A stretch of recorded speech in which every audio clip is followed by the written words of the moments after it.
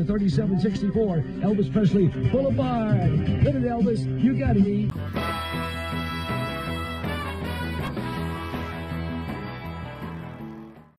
So George, we started this day quite a while ago, and uh, I just wanted to kind of. Usually, we'll do when when we have an interview. We usually do it in the you know in the building. We'll do it at the beginning of it to do the interview, and then we'll kind of finish off the day you know with other stuff. But we're kind of doing this a little bit differently because um, I wanted to capture your thoughts and your feelings about what you just witnessed, what you were just part of, how it felt after all these years, and um, so we'll start with, um, you know, when you came into the building, you kind of shared, you know, how you felt when you came in, but I wanted to kind of get your thoughts on uh, how you felt going backstage because, you know, you were always out here taking the photographs. And uh, I wanted to, when, when we're just walking out here now to do the interview, uh, you kind of commented about this is really cool walking, you know, where he walked. And uh, yeah, it, it was, you know, arriving here was neat, seeing out front mm-hmm. you know, and basically things are just like they were back then, amazingly. Uh, but and all that was great. You know, you get all those good feelings wash over you. Uh, but getting to go back and walk the exact steps, you know, be in the exact room that he was in back there, uh, all that is really uh, and and staying in the little three room suite up there on the very top floor where they stayed. Yeah, was uh, was really interesting and neat. Yeah. So it's it's been a very pleasant experience. I'm glad we. Um, you know, like I said, we did a live earlier, and uh, so we'll do it for this video. But uh, uh like we said earlier, um, I've always been one of those type of people, and Michael's the same way, where uh, we want to make sure that a lot of people that were part of this Elvis world. It wasn't just the uh, musicians, and it just wasn't the you know like when we interviewed Ron Strauss, the pilot uh, on the Lisa Marie. You know, if, if Ron Strauss didn't fly in that airplane, you know, a little tough for Elvis to get to where he's got to go. Same thing I think of you. Um, Michael and I was having this conversation uh, on the plane down here. You know, if if you're not taking those photographs, and I, I certainly hope in your mind that you you don't underestimate what you mean to the Elvis world because um, we talked earlier, you did 65 shows and you don't have an exact number, but you have thousands and thousands and thousands of photographs of this guy. And if you're not pushing that button, we're not seeing that's history is lost. And for an example, how did it feel for you just a little while ago when we were over there at that door and you said, you know, I took that photograph of him coming through that door? And there's then there's no, you know, we don't have to debate. We don't, you know, what side is the door hinged on? What side is it? You, you took the photograph and you took it here. And like we said, that uh, there was some speculation that, that photograph was taken in Huntsville. That's been years they've you mm-hmm. know talked about that, and you cleared that up. So. Um, give us a little insight on how you feel about what you did to you know, brag on yourself a little bit. well, you know, uh, really uh, everything started out uh, more as selfish reasons. You know, it's you know I'd been an Elvis fan since I was five years old, right. and uh, when my dad bought the first uh, Sun singles, and you know obviously when he heard them on a jukebox he, he, he didn't know what an Elvis Presley was. He didn't know where he was from. He didn't know anything. And uh, but he loved that music, you know, and, and he he thought Elvis was a black performer. Mm-hmm. And uh, he back in Panama City, back in those days, there was only one little uh, Thompson's record uh, TV and appliance company, mm-hmm. and they had a record department in it. it. Even had listening booths. And but there was nowhere else in Panama City at that time that you could buy uh, LPs and 45 RPMs. Now that changed quickly and largely uh, because of Elvis. I mean, his records were selling, you know, a Hound Dog sold six and a half, Don't Be Cruel, six and a half million for 145. Yeah. And you know, they were still making 33 and a third RPM records on into 1956. Mm-hmm. Uh, but that quickly changed too, you know. Phonograph record players. I mean, hardly anybody had one. But when Elvis started selling seven million copies of one single, lots of people went out and bought uh, hi-fi stereos to Right. play. You know, and uh, it's it's just uh, uh, amazing how it started. You know, thanks to my dad. But uh, uh, he ordered those Sun, Sun singles from them, and two dollars and fifty cent a piece from the Ernest Tubb Record Shop in Nashville. It's the only place they knew of to get them. Right. And uh, two dollars and fifty cent for a forty-five RPM in 1955. For my dad, that was a lot of money. Right. And he ordered three of them. Wow. And uh, I remember the lady. He told me that I don't remember, it, but he told me uh, the lady, nice lady down there. I got to know her well over the next few years, but uh, she said, Elvis Presley. She said, isn't he kind of like Lonzo and uh, Oscar? That I don't know. if You probably never heard them, but they were a awful country duo comedy act, and my dad, he was he was a young man then, uh, and he was pretty. Uh, he was a great man, great daddy, but uh, he was insulted by that. You know, he said, "Hell no, he's not like Lonzo and Oscar." You know, and he said, uh, "They said, well, well, you know, we never heard of him, but you sure he's not like Lonzo?" and Oscar?" Anyway, long story short, he got the Suns, and uh, he he called me in out of the yard playing, you know, and asked me, said, "Listen to this," you know, and uh, he he played uh, country music most of the time on the radio, and uh, we didn't have very many records at that time either. Very, I mean, very few. And uh, you know, I listened to those uh, "Baby Let's Play House" and "Mystery Train." That's all right, Mama.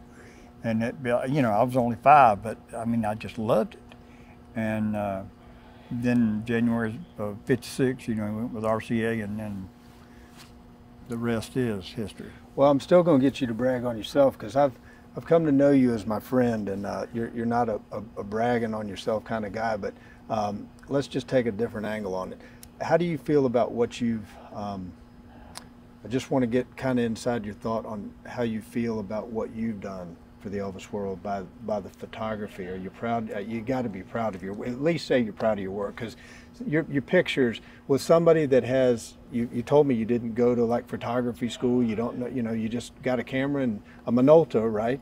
We, Well, the first one I got was borrowed from my brother-in-law, and knew nothing really. You know, just trial and error. You know, it, it's kind of an expensive thing there. You know, you take a roll of film, and most of it's not good. But um, I learned pretty quick, uh, and um, got my own camera, and uh, yeah, I, I, wa- I was I was um, I was proud of. Uh, you know, I always thought I could have done better, and I still do. But uh, uh, there's only three or four of us guys that that um, right. really made a dent. Uh, the other top one is my good friend Keith Alverson. Yeah. Uh, uh, he and I got to be good friends early on, and went to lots of concerts together. And his pictures are superb. He's too. an he's an awesome guy. Uh, He is. He he befriended Michael uh, right off the bat, and um, we just we got along so good with him. And then when we met you, I said, "Man, Michael, we got two of the best guys in the Elvis world as as our friends." And and because we're you know into this type of stuff where we're doing the then and now type things. Again, if it weren't for people like you and Keith, that have those photographs, you know, that make those photographs, we're not lining up anything because Yeah. there's, there's not a photograph to do it with. So um, we we're proud to say that uh, your work and Keith's work is what makes up 90% of the of the uh, photography in our studio. We're proud to have you guys, you know, your work hanging on the wall. So Well, we appreciate it. I can guarantee you yeah, that. you do. I want to get your thoughts on. You sit out here in 1977. It was the last time you saw Elvis, um, June 2nd. hmm Um, part of a redo show, right? Because he canceled out in April Right. because he was sick, and uh, so you had no way of knowing, obviously. But um, when you walked out here just now on this stage, What was that feeling like? Because, like I say, you were always out here. You know, the last time, like I say, the last time you were out here was June 2nd, 77. Um, what was that like to walk out here and kind of be on the same? You, you were on the stage. I mean, this is the stage. The, the uh, production manager just told us, he said, there, there's nothing changed. This Yeah. is, he walked on this tile right here. Yeah, it um, uh, some uh, it, it's exciting. I mean, uh, to think how many years it's been, and that this is the same stage, Yeah. the same. Everything's the same. Yeah. Uh, they're going to start doing some renovating, but right now everything is exactly like the dressing room move in and back there. It's the same one because you can look at the pictures that, that was taken of him and that uh, uh, little girl, Yeah. and it's the same room. I Yeah. mean, there's no doubt about it. Um, and the pathway he took to come out that door uh, with Red standing behind him, you know, where Yeah. I took the picture. Uh, it's uh, after all these years, it's almost uh, you know impossible to even imagine. I, w- I'm really surprised that the auditorium is still standing, Yeah.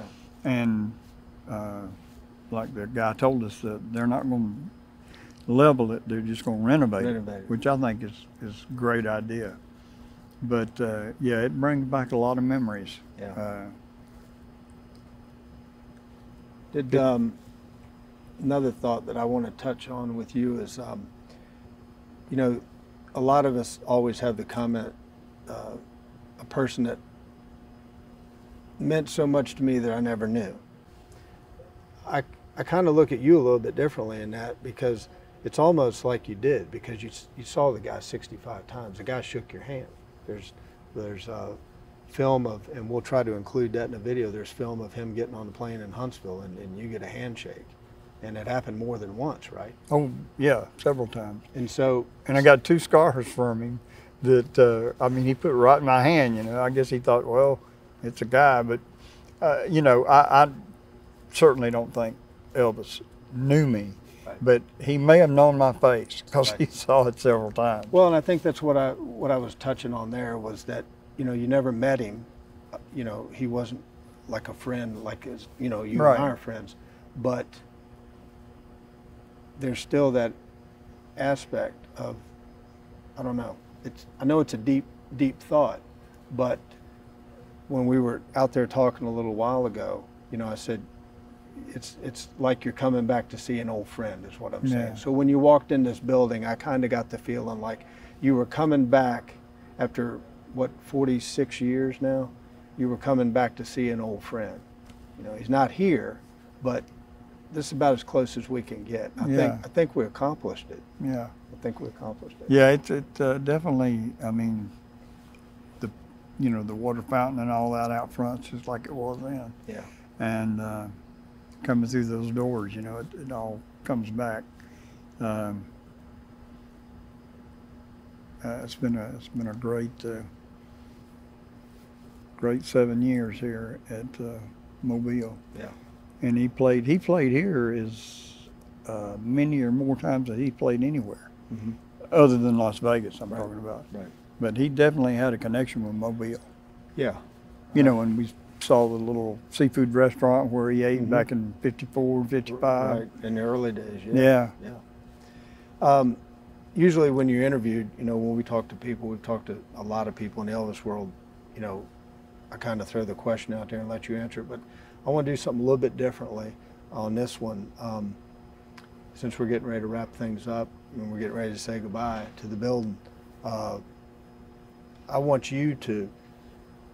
You know, you've got a grandson now that is turning to be a big Elvis fan, and you know, he's going to look at this video, you know, when it's done, and he's going to say, you know, that's my grandpa. So if there's anything that you want to say that, you know, kind of to kind of close it out to say, you know, this is what I want the Elvis world that's going to view this video. This is what I, and my grandson and my family, whoever watches this video, this is something that I really want them to know about me with regards to what I did. Can you share with me what your Well, thoughts are?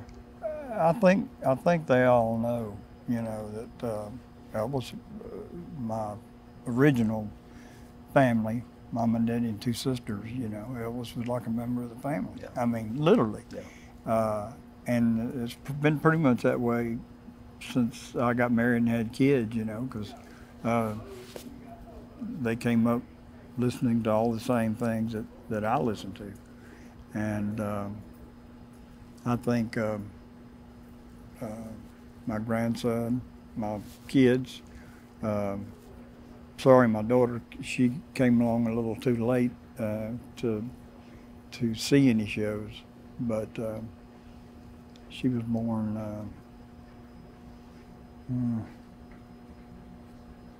just about four months after Elvis died. So, obviously, uh, but my son did get to see him uh, three three different shows. He was just a little guy, and got the scar from him and all in Jacksonville. So, uh, you know, I think they they've all got a special place in their heart for for Elvis and uh, for their granddad or dad, uh, and you know, understand how that what that means uh, to my parents as well.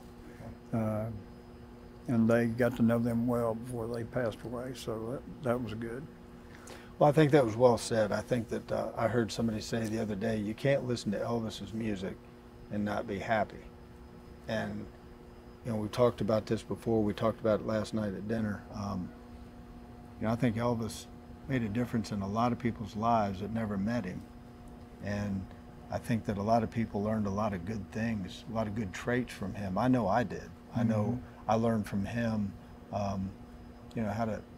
I- I really like to think that um, I learned one of the things I learned from him is how to speak to people, how to be nice to people, how to be considerate. You know, Yeah. and um, that's a big thing that came from my, you know, being a fan of his. And again, like I say, never met the guy, and we talk to these young fans all the time, and I say, you know, how could a guy that you never met have such a big impact on your life? That's a special guy. Yeah. You know, that's a special guy. Um, I want to wrap up this interview with, um, before we leave, um, the final thing you did in this building with regards to Elvis was the final thing that you did for Elvis, correct? Yeah. So just touch on that. June 2nd, 1977. You didn't know what just laid around the corner, but just talk about that day and, and Well, uh, you know, it was a good show. He, he, you could tell he wasn't well, but it was really a good show, vocally especially.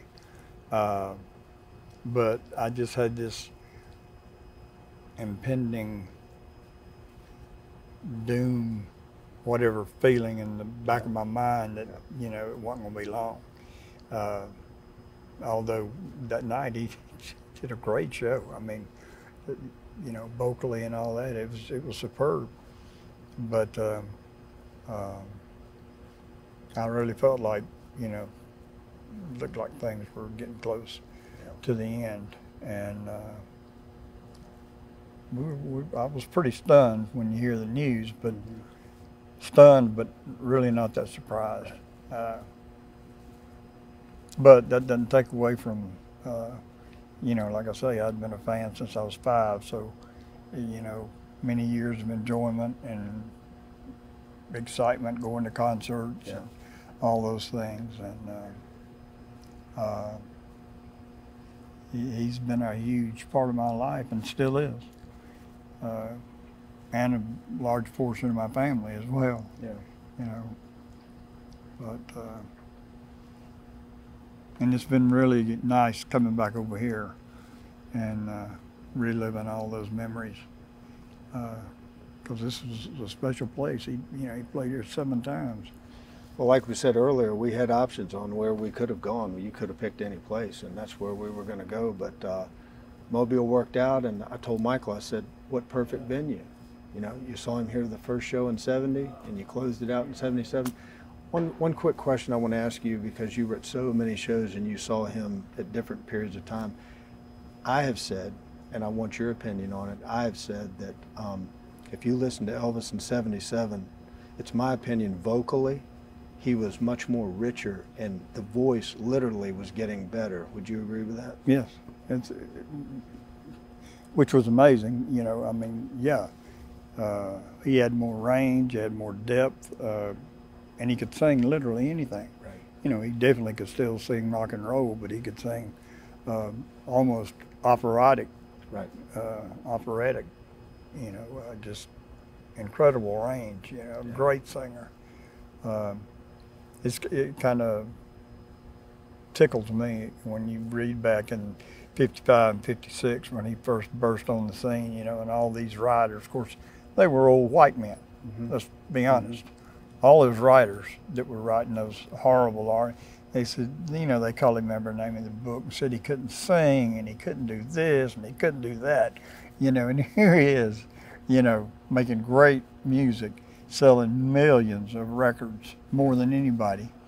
And these clowns, you know, at the time, or you know, there's, uh, if you've seen uh, this is Elvis uh, movie, shows the actual film footage of old fat white DJs back in the fifties saying Smashing smashing those yeah. 78 RPMs, and I was thinking, you idiot, you know, the thing's worth a couple of grand at Yeah, least. yeah. And they're all saying, yeah, this is trash. You know, he's singing that, you know, kind of music. Uh, use the word they use, but uh, they were just ignorant. Yeah. Um, and, you know, Elvis went on to sell, Yeah. I think, uh, uh, the, years ago, uh, Billboard had an ad that said that he had sold over one and a half billion records worldwide that they had could document. Right. You know, that's not counting all the, uh, especially in the foreign countries, they used to counterfeit them. You know, and sell them. And there's no way RCA could press you know charges against some company halfway around the world, some little country that uh, who knows where. But um, that's a lot of records. So yeah, I just wanted to touch on um, the young fans that are out there doing what we do, and we're you know we're on Instagram. Uh, we're seeing all the you know the young fans coming up, and that's exciting. And you know you've spent the last couple of days with with one. You know he's 21 years old and uh, loves Elvis you know as much as I do, and he I can at least say I walked planet Earth while Elvis did. He can't say that, you know. So he's he's the next generation down, and, and we've we've got a, some friends that uh, on Instagram that are you know friends of ours that do the same. Not they don't do what we do, but you know they have the uh, site set up where they're doing different aspects of Elvis's life, and uh, it's pretty cool to watch because they're they're young, and you know, like I say, they they weren't around when Elvis was around. You know, I can at least still remember that. Yeah. Um, but it's exciting to watch, and you're thinking, you know, we're going to be soon on 50 years since he left, and there's people out there that are still just crazy about it. Yeah. So that says a lot. We yeah, just the success of uh, the movie. Uh, Right. Uh, I mean, that was, I mean, that even surprised me. Yeah. I mean, just worldwide hit, Yeah. uh, hundreds of millions of dollars in profit. Nom- won the Golden Globe, nominated for Academy Award. I mean, it had like I think seven or eight different nominations. I mean, that's an honor in Yeah. itself. Yeah. You know, uh, it's he's unique. He is Absolutely. he is one of a kind. Well, it's been a long day. You've had a long day, and uh, but a lot of great memories relived. I could see it in your face as we were going through here and uh, doing all the things that we did today, from the hotel to the uh, walking in to the fountains to the uh, going backstage. Um, you got to see him fire up the spotlight The that spotlight, hasn't yeah. been lit for decades, but that was the one that lit up the 1970 show. That was he told me that was the, the one they, they burned for the uh, you know for most of Elvis's shows was that Mhm. spotlight, Yeah. and it's still fired up. And we got to sit here and listen to some. Uh, I think just like when we did Estelle Brown, I think that's that was the the where I saw you really feel like the connection where you know. So Yeah. well, we can't thank you enough for the time that you spent with us, and we can't thank you enough for driving over here. And uh, we consider you one of our best friends in the Elvis world. So So the feelings are mutual. I know Yeah. that. We You're a just good want, man. we just want to say thank you. You're welcome. Right. Thank you. Thank you for watching. We hope you enjoyed. Please be sure to comment, like, and subscribe, as well as follow us on all of our social media accounts using the link in the description below.